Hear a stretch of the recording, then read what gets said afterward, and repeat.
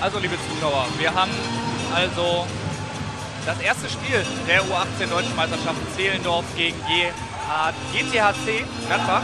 Ähm, und ich würde den Chat einmal mit reinnehmen wollen.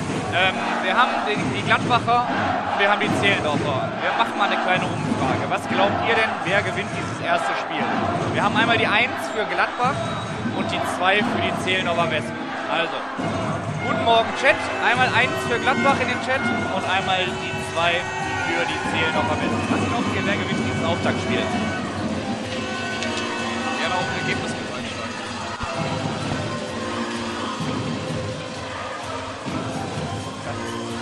Ja, klappt gut mit dem Chat. hat der Matthias Mansfeld schon richtig gesagt. Die lassen sich aber ordentlich Zeit.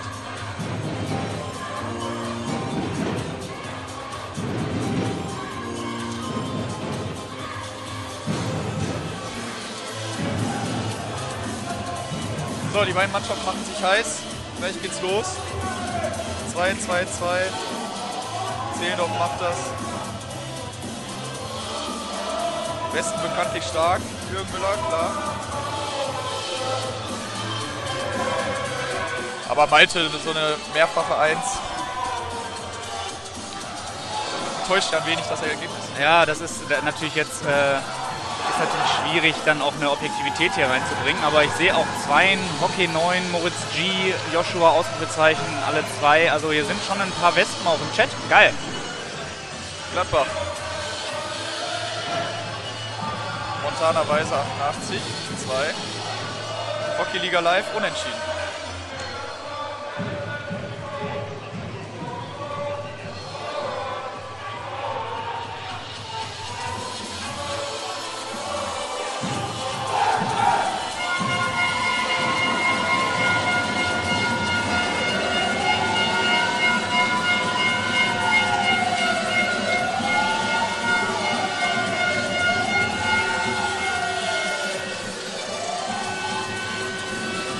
So, Paul, ähm, jede Mannschaft hat ja so einen MVP, der auch so in der Halle irgendwie überzeugt.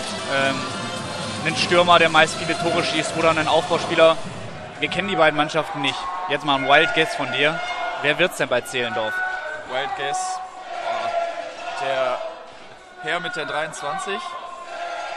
Den Kleinste du, in der Mannschaft. den siehst du als MVP. Ich glaube aber, kleinste in der Mannschaft, aber trotzdem der mit dem meisten Touch. Okay, ich sag links vorne, Stirnband ist immer so ein Indiz für einen MVP. immer ein Indiz. Ähm, das ist dann die Nummer 37 der Zehlendorfer Wespen und das ist Lukas Kossel. Das ist mein MVP. Und bei den Gladbachern würde ich ganz klassisch mal den Mittelstürmer nehmen, auch wenn er nur Ich eine getapte Nummer hat mit der Nummer 16.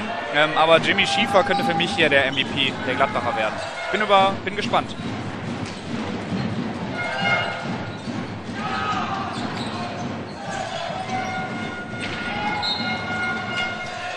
Chat ist auch mittlerweile aufgewacht, finde ich super. Dirk Adam drückt dem Team von GTHC die Daumen. Also Gladbach direkt mit dem ganz fiesen Pressing. Sehr, sehr gut gemacht. Kapitän. Oh, oh, und da klingelt fast. Da klingelt Das hat 1 zu 0. Bumm. Rodrigo Castro bringt hier die Gladbacher ganz, ganz früh in Führung. Und das Ja. war sehr clever ausgespielt. Also ein super geiler Druck und dann überfallartig. Ganz wichtig, nach, wenn der Torwart den Ball gehalten hat, den Rebound. Ja, nach genau 47 Sekunden fällt er das erste Tor. 1-0 für Gladbach.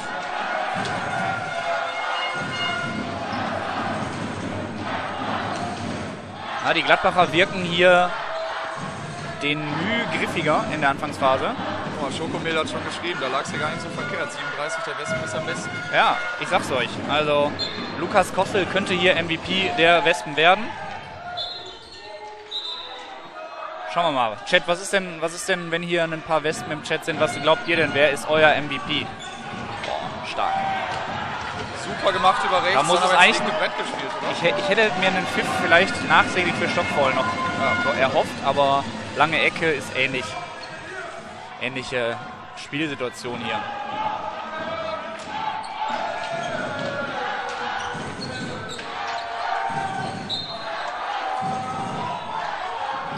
Freischuss schnell ausgeführt. Da, ich sag's dir. Ja, ja, man erkennt die, äh, den Ansatz, richtig? Ja. Pfiff gegen. Klein, klein und wendig, wie es auch bei uns die geile Eule Tangens ist, ne? Also der drückt sich auch mal an der Bande durch. Ja.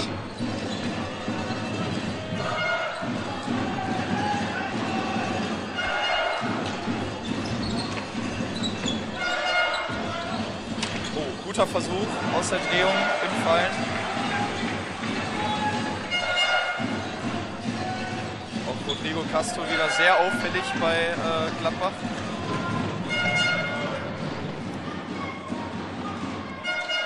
So, Gladbach jetzt im Fünferwürfel im Halbfeld. Sehr defensive Taktik. Haben aber ja auch die Führung erstmal zu verteidigen. Die Wespen spielen es ruhig aus.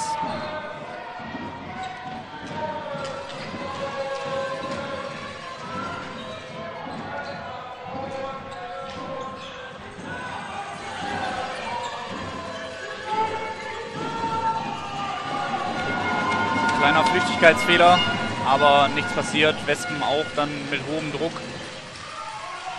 Paul, ich finde es eigentlich ähm, sehr interessant zu sehen, wie unbeschwert und, und sehr stark die Gladbacher hier aufspielen. Ähm, ob, obwohl sie letztendlich nur in Anführungszeichen West 2 geworden sind.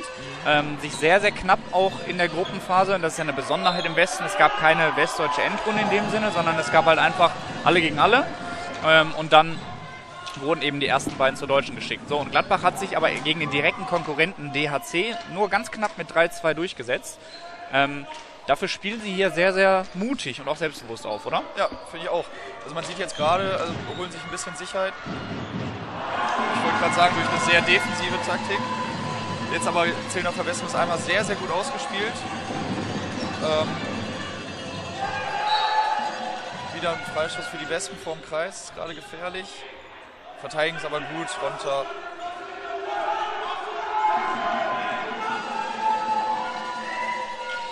Ja, sie machen schon stark. Also man merkt den Selbstbewusstsein Und jetzt wichtiger ab. Konter. Konter. Castro wieder mit dem Ball. Castro, Riesenchance hier. Aber Gut gehalten vom Torwart. Sehr die gut. Westen sind da.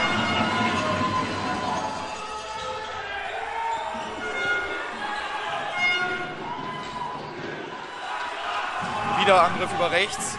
Gladbach macht das sehr stark über rechts. Also viele Angriffe laufen über die rechte Bande, haben da laufstarke rechte Verteidiger.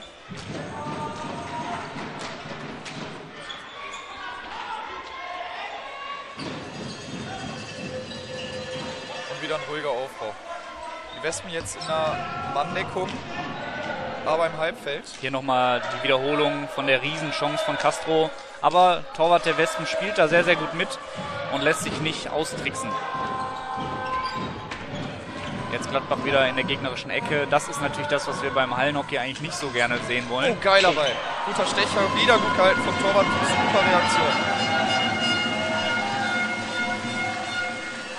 Auch zu erwähnen, schöne Spielführung hier der Schiedsrichter, diesen Ball, diesen hohen Ball vom Torwart eben nicht abzupfeifen. Ähm, da referiere ich sehr, sehr gerne immer mal auch auf früher. Äh, vor ein paar Jahren war das immer eine kurze Ecke. Der Torwart konnte eigentlich gar nichts machen. Heute ist dieses ganze hohe Spiel, gefährliche Spiel doch deutlich moderner geworden und wird einfach mehr laufen gelassen. Ne? Jetzt waren drei Punkte auf dem Boden. Daher für die Wespen.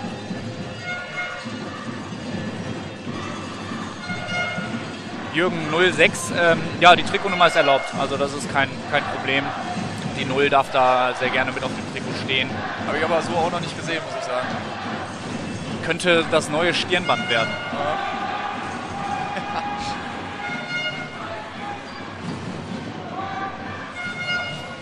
Vielleicht auch mal die Frage hier an unsere Gladbacher Jungs im Chat, Jungs und Mädels, äh, sorry dafür. Oh, kurz auf die Chance gucken, Gladbach wieder. Nachschuss. Oh, da ist viel eingeklemmt. Der Torwart macht das echt gut von den Wespen. Also ich finde, er hat jetzt dreimal hintereinander sehr stark gehalten. Ja, Thea, Thea Klim hier im Tor der Wespen mit einer hohen Nummer, 99. Auch Und den hält er wieder rein. bärenstark.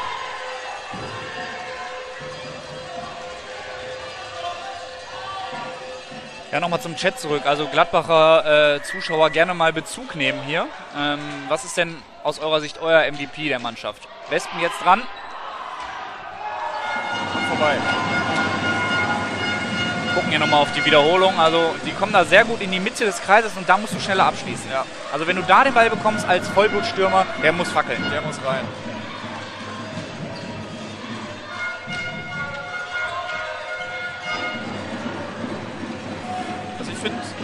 Das Spiel sehr, sehr strukturiert. Also es sind nicht allzu viele Tore bisher, also eins ähm, auf beiden Seiten, aber sehr strukturiertes Defensivverhalten. Daher kommen beide Mannschaften auch schwer in den Kreis und man muss dazu sagen, Torwart von den Wespen hält extrem gut. Da ist ein super Ball durch die Lücke durch. Dann wird es nämlich gefährlich, dann kracht es. Wenn der Fünferwürfel äh, durch einen Pass in den Kreis durchspielt werden kann, wirft der Trainer von Gladbach nur die Hände über den Kopf. Also Nummer 19 wird hier im Chat erwähnt von den Gladbachern. Valentin Mellinghoff ist uns noch nicht aufgefallen, aber haben wir natürlich ein Auge drauf. Ob er sich hier für den MVP des Spiels qualifiziert. Was wir aber noch, noch MVP des Spiels. Ja, finde ich nicht verkehrt. Also kann ja jedes Kommentatorenpaar dann für sich entscheiden hier. Genau. Aber wir können ja gleich mal dann den MVP nach dem Spiel befragen. Rodrigo wird hier von Marvin auch genannt. Ja, den haben wir auf dem Ja. Schirm, den Rodrigo. Der ist sehr auffällig bisher gewesen. Eine Sache, die hier noch angesprochen wird im Chat, T-Shirt oder Pulli in der Halle. Ähm, das ist ein sehr, sehr gutes Stichwort, denn wir in Mülheim, wir sind hier verschiedene Wetterzonen gewöhnt. Wir haben einmal unseren Polardome äh, direkt bei uns auf dem Clubgelände. Jetzt gucken wir ganz kurz auf die Wespen. Da wird nichts draus. Also haben den Polardome bei uns am Uhlenhorst, da sind so konstant, sagen wir, drei bis vier Grad drin. Muss jetzt für die äh, Unerfahrenen nochmal ergänzen. Der Polardom, das ist die Hockeyhalle. Hockeyhalle. Also da spielen wir Hockey, da trainieren wir und da ist sicherlich der Pulli angebracht. Ähm, heute spielen wir hier aber in der städtischen Halle ähm, von der Gesamtschule Lehnerstraße. Und wie wir es ja kennen, die Kommunen und Städte haben wenig Geld und deswegen heizt man diese Halle konstant auf 40 Grad hoch. Ja, Äh, tatsächlich ist hier die Heizung kaputt, die kann nicht abgestellt werden. Ist in Zeiten der Energiekrise natürlich ein Extremfiasko. Man Aber könnte wir man, geben das Beste mit offenen Türen das Ganze. exakt. Dementsprechend aber natürlich das T-Shirt hier das angebrachtere Kleidungsstück. Auf jeden Fall. Gut, gehen wir nochmal ins Spiel zurück. Äh, Es plätschert gerade so ein bisschen, immer mal ein paar Kreisszenen. Ich finde, die Stürmer sind noch nicht da, wo sie sein sollen. Ähm, weil ja, aus den einigen Kreisszenen, die sie haben, müssen wir eigentlich mehr machen. Ein Tor ist mir da gerade noch zu wenig. Wir sehen ja auch gerade vor uns, vor dem äh, Livestream-Pult, äh, wie diverse Trainer ihre Kameras aufstellen. Und, oh, Und da ist könnte es krachen. Ja, Da ist das 1 zu 1. die Wespen nutzen diesen durchgerutschten Ball, der irgendwo im Nirgendwo rumdümpelt. Und dann ist es der Mann mit der Nummer 41, Matti Sommer, der den Ball irgendwie an die Keule kriegt und das Ding versenkt. Ja, er steht zur, zum richtigen Zeitpunkt an der richtigen Stelle. Mehr muss als Stürmer manchmal gar nicht machen. Und dann geht der Ball ins leere Tor. Und wir haben wieder ein Spiel, 1 zu 1.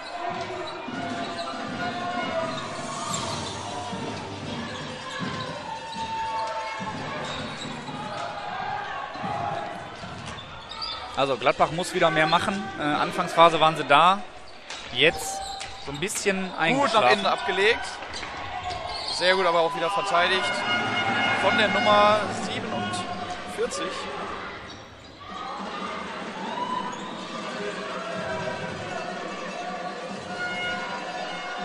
...37.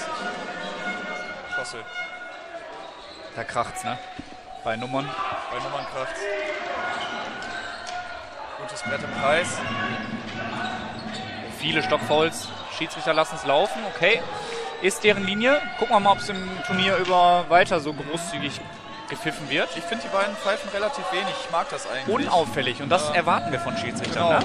Also ich finde, je weniger die Schiris pfeifen, natürlich, solange es richtig ist, aber je, je weniger die Schiris pfeifen, desto besser kommt man ins Spiel, desto mehr Spielfluss hat man und es ist auch besser anzugucken, als wenn andauernd unterbrochen wird. Ganz wichtiger Hinweis von David. Äh, danke dir, das geben wir auch an die Regie weiter. Es ist natürlich der Gladbacher HTC. Ähm, gucken wir mal, ob wir das in der Halbzeit gleich angepasst bekommen. Wir als Mülheimer beschweren uns ja auch immer darüber, dass Mülheim mit einem H zu viel ähm, gemacht wird. Deswegen korrigieren wir das gleich. Danke für den Hinweis und ein riesen Sorry nach Gladbach.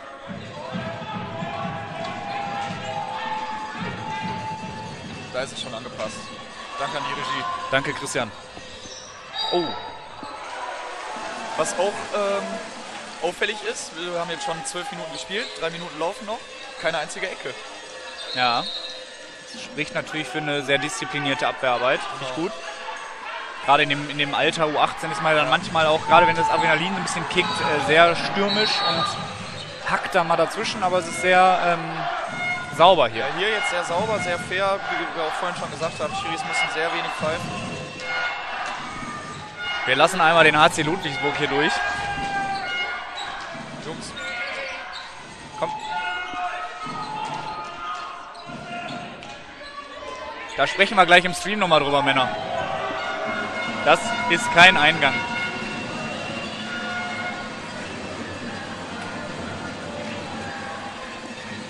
Paul, ich glaube, wir sollten gleich einfach unsere Kisten Bier dahin stellen, dann kommt hier auch keiner mehr rein.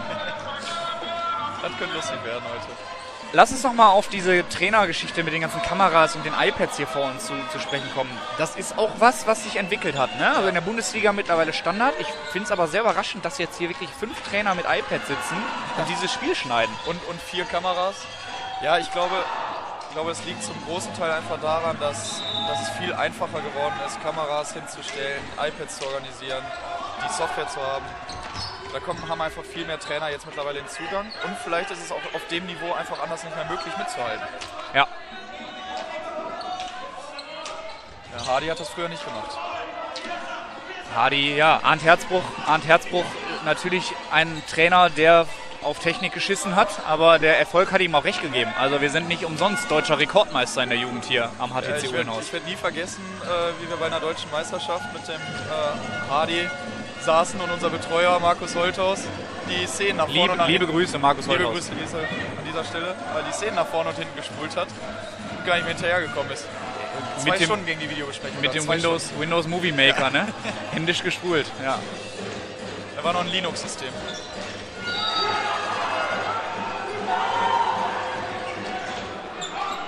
Oh, Rodrigo wieder. Der Mann ist aktiv da vorne, ne? Ja, aber er findet gerade noch seinen Meister in Thea Klim im Tor von dem Zehlendorfer Westen. Der Kapitän mit der Faust auf der Bank, motiviert da von draußen. Finde ich sehr gut, wie die Jungs auch von außen mitmachen. Glashäufer Umlauf hier mit der 49, äh, finde ich, muss mehr bedrohen auf die Naht. Also er ist mir noch ein bisschen zu weit weg vom, äh, vom, vom ganzen Geschehen. Äh, klar, Klaas Häufer Umlauf war natürlich ein kleiner Scherz. Äh, ist der liebe Paul. Sei, sei, sei uns gegönnt, dieser Joke. Hat er bestimmt auch noch nie gehört. Noch nie. So, 10 Sekunden noch. Oh, oh, oh, der ist gefährlich. Ball vor dem eigenen Torwart. Und nochmal Torschuss wieder gut gehalten. Ich sag's dir, ich sag's dir, wie es ist. MVP könnte auch der Torwart werden. So, wir gehen in die Halbzeitpause.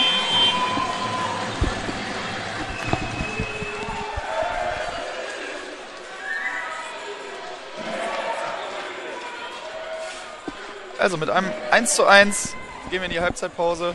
Ähm, Gladbach HTC wurde mittlerweile geändert in der Anzeige.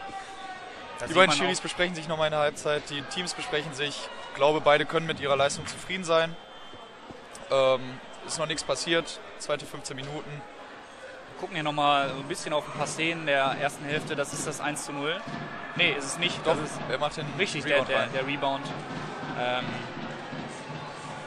Da hat der Torwart wieder gut gehalten, bei dem Rebound relativ machtlos. Kommt Trainer von HTHC möchte seine Kamera auch aufstellen. Dann wird das jetzt die Kamera Nummer 5 hier vor uns. was haben wir denn als Pausenzeit, äh, Paul? Was haben wir? Drei Minuten immer in der Jugend? Oder? Äh, fünf. Fünf Minuten. Ähm, ist für den einen oder anderen Trainer immer schwer gewesen, sich daran zu halten. Die Schiris pfeifen, glaube ich, nach vier Minuten pfeifen sie einmal an. Sollte es sich extrem verzögern, gibt es eine gelbe Karte äh, an den Kapitän. Und man startet in Unterzahl. Jürgen, äh, einmal klar, wie sieht es bei uns aus, bei den Herren? Unsere Herren ähm, am HTC Unas natürlich nutzen auch die Technik, die wir hier haben. Ich meine, wir übertragen jedes Spiel. Ähm, das heißt, es wird automatisch auch mit gefilmt und daraus können sich die Trainer natürlich dann auch ihre Szenen rausschneiden. Ähm, Ja, wobei der, der Tilo, unser Tilo Strajkowski, der Trainer unserer ersten Herren, äh, lässt trotz Stream immer noch zusätzlich filmen, damit man aus seiner gewünschten Perspektive das Spiel sehen kann. Hier im Livestream geht es ja schon mehr kommerziell mit vielen Schwankungen ähm, und mit viel Zoom. Das braucht man als Trainer natürlich nicht, da braucht man das ganze Spielfeld im Blick. Du sagst kommerziell, ich finde aber, wir haben noch nicht besonders viel Werbung im Stream. Das heißt natürlich auch hier nochmal der Aufruf an alle lokalen Sponsoren. Wenn ihr Werber, Werbetreibender im Uhlen TV im Livestream sein wollt, dann meldet euch einfach. Ihr könnt auch hier euer Logo platzieren. Wir erwähnen euch auch gerne. Im Sommer wird es wieder den Tonnentalk geben. Äh, da könnt ihr euch schon mal drauf freuen. Aber ich denke, ja, hier haben wir jetzt hauptsächlich Gladbacher und ähm, Zehlnocher Wespen-Fans im Chat. Ja, ich denke, dass, also es lohnt sich, denke ich schon, über den Tag verteilt. Gibt es acht verschiedene Städte oder Mannschaften, die hier einschalten. Gerade haben wir 400 Zuschauer live. Ist ein Brett. Ist ein Brett. Jürgen, ähm, tatsächlich in den unteren Herrenmannschaften nicht. Ähm, da wird noch nicht mit Videomaterial und Kameratechnik gearbeitet, auch wenn unsere zweiten Herren natürlich einen sehr, sehr hohen Anspruch haben. Ähm, leider jetzt in der Halle abgestiegen, unsere zweiten Herren. Ähm, können wir mit Sicherheit nachher nochmal darauf eingehen, woran es hier gelegen hat. Aber nein, da wird noch nicht mit Videotechnik gearbeitet. Ähm, haben wir bisher auch immer mit unserer Arroganz hinbekommen.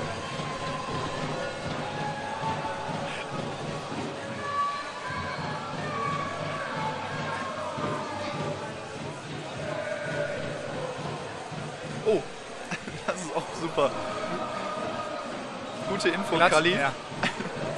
Gladbacher HTC, das schreibt sich aber nicht mit Doppel-T. Ist Äh, ab, vielleicht abgeleitet von äh, dem Legendentrainer des Gladbacher HDCs, Jan Klatt. Könnte man überlegen. Könnte Äh, man lie- überlegen. Liebe Grüße, Jan Klatt, einer der sympathischsten Hockeytrainer, die ich in meiner Hockeykarriere äh, als gegnerischen Trainer erleben durfte und auch als Schiedsrichter. Also liebe Grüße da und er, mit Sicherheit wird er ja auch einen Teilerfolg an dieser, an dieser jungen Truppe der Gladbacher, die hier auf dem Platz steht, haben. Ähm, ja, lebt ja so ein Verein von, ehrlicherweise, ne? von sehr motivierten Trainern, die über Jahrzehnte lang diesen Sport prägen. Bei Ja. uns ist es eben Hardy, äh, du hast aber bei vielen anderen Vereinen genau diese Trainer, die Jugendtrainer, die von der Pike auf aufbauen Ja. und ähm, genau das hier möglich machen, dass die Jungs dann so ein geiles Final vorspielen können. Ja, ganz wichtig oder der, den Grundstein für so eine erfolgreiche Mannschaft setzt auch ein engagierter Trainer. So, es geht weiter. Zweite 15 Minuten. Beide Mannschaften sind heiß wie Fit und Fett. Und Gladbach sofort wieder in der Vorwärtsbewegung. Fan aus Berlin, das gehen wir gleich gerne mal rein. Wir sind natürlich bemüht, die Replays so kurz wie möglich zu halten, aber euch natürlich auch trotzdem die entscheidenden Szenen nochmal zu zeigen. Äh, wir haben hier ähm, Experten eingekauft vom Sportstudio, von The Zone, die hier die Regie machen. Ähm, und ich glaube, die geben ihr Bestes, euch das perfekte Bild hier zu liefern.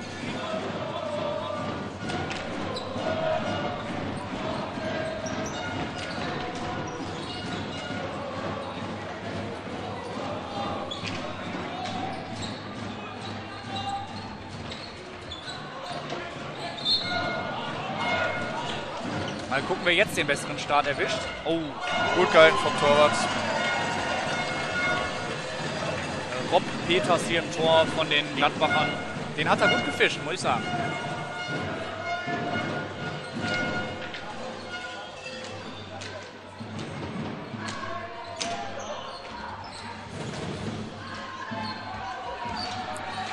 So, kurzes Kamera-Update. Trainer von Mannheimer AC hat sich jetzt auch eingereiht. Er ist jetzt Kamera Nummer 6. Jetzt fehlen nur noch die Videografen, die Instagram-Content shooten und nach jedem Spiel ein perfektes Reel auf den Vereinschannel hochladen. Gucken wir mal nachher in die sozialen Medien. Ich habe schon hier gerade im Chat gelesen, dass die Gladbacher einen eigenen Fotografen oder eine eigene Fotografin mitgebracht haben. Susanne, die kennt man auch, äh, wenn man so ein bisschen auch die Gladbacher Herren verfolgt. Immer schön dann auch ja, Erinnerungen an so ein Turnier zu haben, Da oder? freut sich auch die gegnerische Mannschaft. Richtig, richtig. Die Wespen machen es jetzt durch ein schnelles Passspiel Oh, gefährlich. da ist der da der Fuß. Das ist die erste Ecke dem Spiel. Glashäufer Umlauf. Nein, Paul Umlauf mit dem sehr, sehr smarten Move einfach an den Fuß gelegt. Sehen wir hier nochmal im Replay und der Gladbacher kriegt den Schläger nicht runter. Ähm, Fiete Böhrmanns da. Ja, Hallenhockey ist natürlich schwierig, den Schläger auch immer unten zu haben. Ja. Gerade so in so einer dynamischen Bewegung und dann Kennen wir beide zu gut. Ja. Je älter man wird, desto anstrengender wird's. Lennart, äh, Leonard, vielen Dank für die lieben Grüße. erste Ecke jetzt im Spiel. Ähm, Paul dein MVP steht auf kurz. Meinst du, der fackelt? Ich glaube nicht. Oh, Schuss Mitte. aus der Mitte. Aber ich glaube, war innerhalb gestoppt, oder? Oh, irgendwas, irgendwas müsst ihr pfeifen, Jungs? Nee, okay. Schiedsrichter haben sich mit Augenkontakt besprochen und lassen einfach laufen. Oh, hier aber bei der Nummer 16, der bei einer deutschen Meisterschaft sein Trikot taped, äh, fällt auch gleich die Nummer ab, glaube ich. So, schauen wir nochmal rein in die Ecke. Ja, war außerhalb gestoppt. Guter Ablauf. Aber ja, ist schwierig zu sehen, wo der Ball ist. An Fan aus Berlin während des Replays hast du nichts verpasst.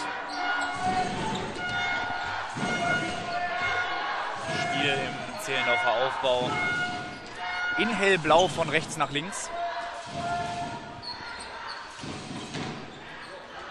Jetzt mal die Rennbahn offen. Oh, alleine im Kreis. Eieiei. Gute Chance, aber der Torwart war noch dran. Richtig Äh, zu schießen Schiri. Matti Sommer hier mit der Und er macht's gut, macht's gut. Alle Oh, das ist eine Ecke. Ja, das ist die Ecke. Aber er macht ja total clever. Äh, Der Torwart war eigentlich noch dran. Schiri sieht es aber leider nicht. Pfeift Abschlag. Alle gucken, äh, keiner, keiner lacht. Und Castro holt sich die Ecke. Sensationell geschaltet von den Gladbachern hier. Rodrigo Castro kann auch das Tempo dann ausspielen, kriegt das Stockfoul von den äh, Zehlendorfer Wespen und da bleibt dann Janik Holzmüller in Gelb auch gar nichts anderes übrig, als da die Ecke zu fallen. Völlig richtig.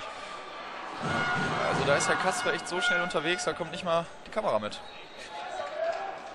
So, in Engen steht es jetzt auch 1 zu 1. Schauen wir mal, ob das Ergebnis sich ändert.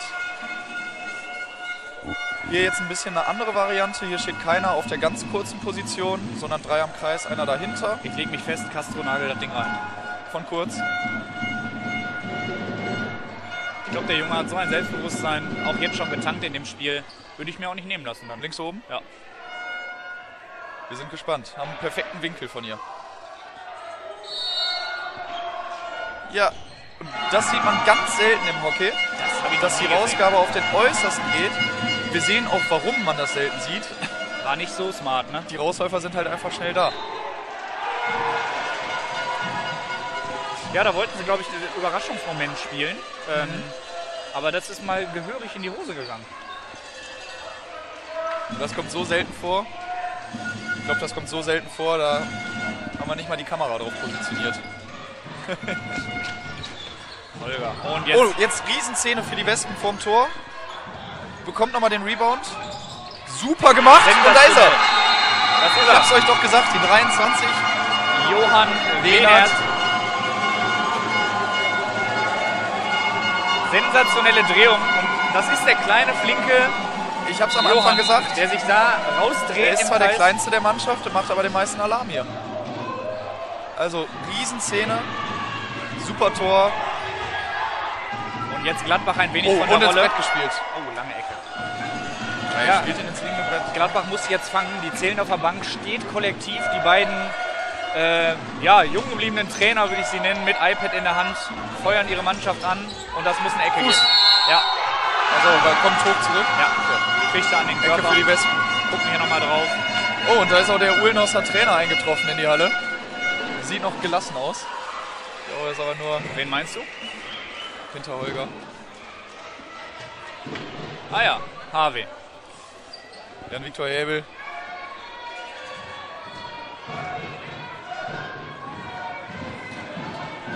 Mathis Mahnfeld sagt, Weinert ist auch einfach crazy. Ja, Plus eins. plus eins. Also, ja, Sehe ich genauso. call, call me in. Weinert auf die Eins. Ja, Traktorfahrer 31 sieht das genauso. Super. Ich bin gespannt, was wir jetzt sehen. Die zählen aber Bei der nordostdeutschen Meisterschaft ausgedacht haben, oh, zu viel zu früh rausgelaufen. Äh, hier bei der nordostdeutschen Meisterschaft war es genauso mit Wenert. Dann lagen wir ja gar nicht so falsch. Dann ist es vielleicht der MVP der Zählendorfer Wespen. Trainer macht nochmal eine Ansage, was jetzt gespielt wird. Paul Umlauf steht auf lang, Wenert auf kurz. Bin mal gespannt. Wenn man so steht, kommt auch oft die Variante in die Mitte nach außen abgelegt. Vorstoppen und rein das Ding. Genau. War inner. Ah, der Ablauf war zu langsam, ne? Ablauf war zu langsam. Rausläufer waren da. Bei so einer Pusher-Ecke muss das natürlich so schnell wie es geht funktionieren.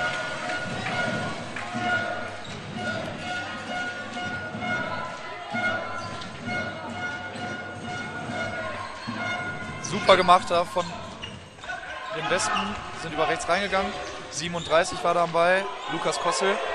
Jetzt wieder Angriff über links, aber vertändelt sich da leider. Frederik Martins bringt, liefert den Ball im Aus ab. Zehndorfer Wespen wieder in der Manndeckung, machen jetzt auch vorne Druck. Äh, kommt der Fehlpass von Castro. Sieht man nicht oft.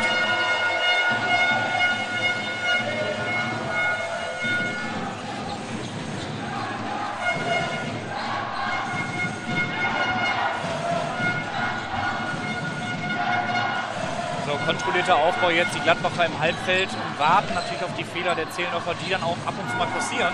Bin mal gespannt, wie lange die Gladbacher im Halbfeld stehen bleiben. Ähm, müssen ja noch ein Tor schießen. Mindestens eins.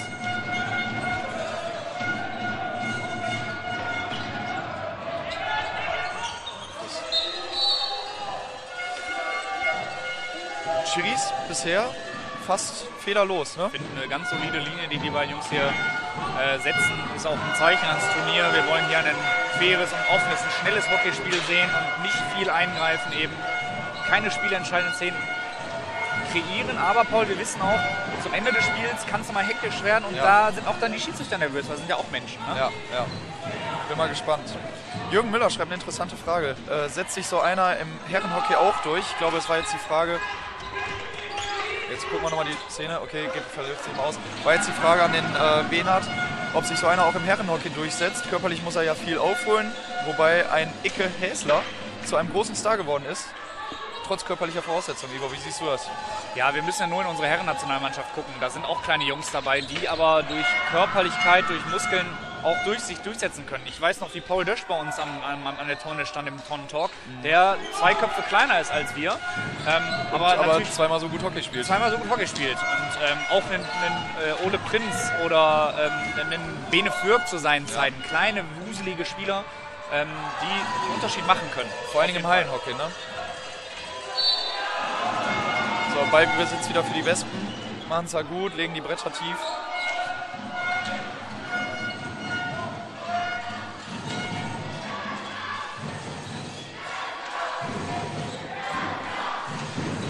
Ja, hier wurde auch schon reingeschrieben. Der spielt äh, bei den Wespen in der zweiten Bundesliga.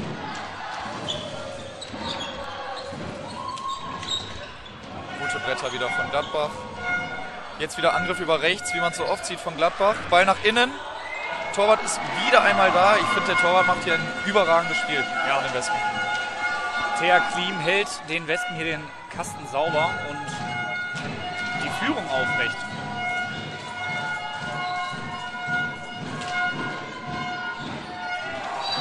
So, wir sind mittlerweile in den letzten fünf Minuten. So langsam kommen hier auch wieder ein paar hitzige Szenen ins Spiel. Insgesamt war es aber ruhig. Jetzt bin ich nochmal gespannt. Jetzt gucken wir mal meinen MVP auf den Platz. Johann Wehnert. Mal schauen, gerade am Ball. Oh. Verliert ihn aber. Jetzt noch abgelegt. Riesenchance für Boah, Gladbach. Geht an den Pfosten. Nachschuss. Nachschuss. Spiel ihn ab. Und schon wieder hält der Torwart zwei Bälle. Zu eigensinnig? Also da muss man mehr draus machen. Schauen uns das Replay gerne nochmal an. Super abgelegt da. Der Schuss geht an den Pfosten. Und dann muss aber der Rebound rein. Ne? Muss man schneller da sein.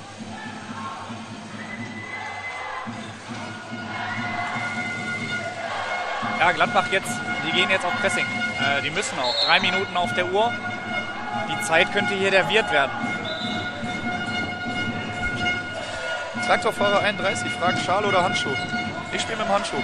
Ivo? Ähm, ich spiele auch mit Handschuh. Ich glaube, hier bei uns im WHV wird mehr mit Handschuh gespielt. So Limburger Südhockey aller, aller, aller, wie heißt da noch, Herr Peters? Äh, die spielen alle mit der, mit der Schale. Ja, Schiedsrichter ist sich im unsicher. Süden wird aber auch mehr das Brett gelegt. So, genau. Thomas Peters, so, jetzt habe ich den Namen wieder. Ja, also Traktorfahrer, um dir die Frage zu beantworten, hier in der Halle hat, glaube ich, keiner eine Schale. Gerade mit den die Jungs, die auf dem Platz stehen. Ich sag mal so, früher war die Schale auch ein Symbol für einen sehr guten Spieler. Das ähm, Stirnband hat es dann abgelöst und offensichtlich ist es jetzt dann der Skill, dass du eine Null vor deiner einstelligen Nummer hast, so wie Rodrigo eben. Ja.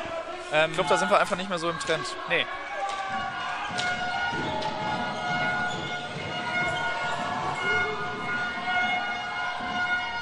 Gladbach jetzt wieder im Kreis. Müssen sich natürlich jetzt Chancen kreieren. Also sie müssen, müssen was tun. Es gibt hier ja nicht den Joker. Wieder hält der Torwart gut. Oh. Aber da ist die Oh, Riesenchance. das ist eine Ecke. Das ist eine Ecke. Nein. Oh. Sehen wir falsch, aber wir sind auch weit weg. Ist der Schiri näher dran. Und der Schiri ist auch der Profi und nicht wir. So, gucken wir nochmal hin. Ja, ich glaube, er fällt über seine eigenen Füße. Ja. ja. Sah nicht ganz so elegant aus. Der Hallenboden war es nicht schuld. Manchmal wird hier ja auch vermutet, dass hier Wasser in der Halle ist. Gab ja dieses Skandalspiel Raffelberg gegen Uhlenhorst, wo es hier getropft hat. Äh, Habe ich nur aus Märchenstunden mal mitbekommen. Oh, oh, oh, jetzt, oh, jetzt wieder Riesenszene von den Wespen. Jetzt kann es krachen. Gut abgelegt. Das ist ein Das 7 Meter. aber- Ah, da musst du, da musst du pfeifen, Schiri. Das hört man ganz laut durch die ganze Halle. Riesen Stockschlag. Aber Schiri entscheidet sich für die lange Ecke. Aber die Teams regen sich nicht auf. Also Hat okay. sich keiner beschwert. Let's Also- go, lange Ecke, weiter geht's. Oh, oh, oh. Oh, Wen hat wieder am Ball? Das ist eine Runde sein. Ja, sieht er. Ja, runde Seite gut gesehen. Also diese So. Drehungen von Wenert, ich lieb's. Ja. Also Hammer. Freue ich mich schon drauf. Macht Lust auf mehr. Nochmal Pfiff für Gladbach.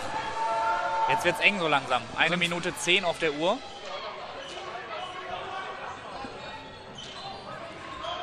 Oh, Riesenchance für Gladbach. Und da ist das Tor. Eine Minute vor Schluss.